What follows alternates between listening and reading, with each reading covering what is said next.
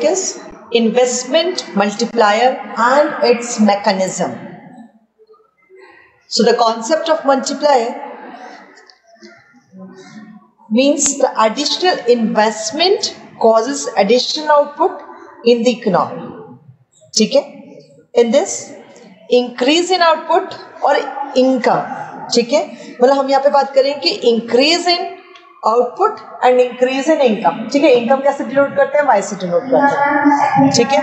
तो यहाँ पे क्या हमने बात करी कि इंक्रीज जो हुआ है। ठीक है? Increase in output and increase in income is many more times more than the increase in investment. ठीक है? तो यहाँ पे क्या हुआ कि हम केस बात करें कि कितना यहाँ पे उसका इफ़ेक्ट पड़ता है। इससे कितना आपका जो है वो, हमारा कितना यहाँ पे इन्वेस्टमेंट ठीक है?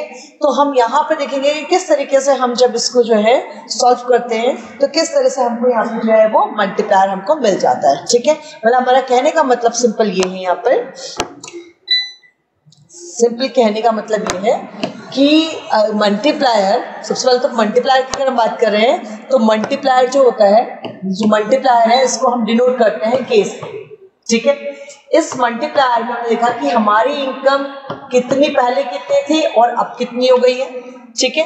और इस इनकम के इंक्रीज होने से पहले हम कितना इन्वेस्टमेंट कर रहे थे और अब कितना इन्वेस्टमेंट कर रहे हैं। ठीक है? तो इस तरीके से जब हम यहाँ पे सॉल्व करते हैं तो हमें पता चलता है कि कितना मल्टीप्लाई वैल्यू हमको यहाँ पर मिल रही है। Means the factor by which the increase in output is greater than the increase in investment is called investment multiplier ठीक है? एंड डिनोटेड बाय के ठीक है? तो सिंपल हमने क्या कहा? कि क्या है? दैट इज़ द रेशियो किसका रेशियो है? रेशियो है किसका? यहाँ पर इंक्रीज इन आउटपुट या इंक्रीज इन इनकम बाय क्या हो गया आपका? इंक्रीज इन इन्वेस्टमेंट ठीक है? मल्टीप्लायर क्या है? That is the ratio between increase in income and increase in investment ठीक है? तो इस तरीके से हमें यहाँ पर मल्टीप्लायर मिल जाता है। ठीक है? एक तो सिंपल हमारे पास हो गया कि मल्टीप्लायर जो होता है, वो हमारे पास delta Y upon delta I होता है। ठीक है? इसके अलावा भी मल्टीप्लायर जो है सॉल्यूशन निकालने का हमारे पास क्या होता है? हमने क्या निकाला? One by one minus MPC ठीक है? एमपीसी पता ही है मार्जिन प्रोपेंसिटी टू कंज्यूम ठीक है? उसके बाद हमें पता है कि के इक्वल्स टू वन होता है एंड वन माइनस एमपीसी जो होता है, वो इक्वल्स टू एमपीएस होता है तो there are three matrix to find the multiplier ठीक है?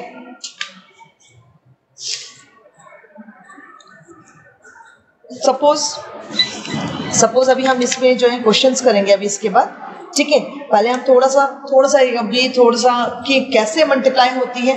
किस तरह से जो है वो जनरेट होता है, ठीक है? उसको इलिस्ट्रेशन को देखते हैं। ठीक है, इतना आपको समझ में आ गया कि इन्वेस्टमेंट मल्टीप्लायर क्या है? आपका, जिसमें हमारा क्या होगा? जो आपकी इंक्रीज और इंक्रीज हुआ है, जो आपका इनकम में, ठीक है? उसका एक रेशियो होता है इंक्रीज इन इनकम और आपका increase in investment second thing कि one by one minus M होता है एंड वन बाय एम होता है, ठीक है? तो तीन मेथड्स हैं आपके लिए सॉल्यूशन करने के। ठीक है? देन इसके बाद फिर बात करते हैं मल्टीप्लायर का रिलेशनशिप आपको बता दिया अभी। ठीक है वर्किंग ऑफ़ मल्टीप्लायर ठीक है? मल्टी अगर मल्टीप्लायर की यहाँ बात करते हैं assume that increase in investment ठीक है?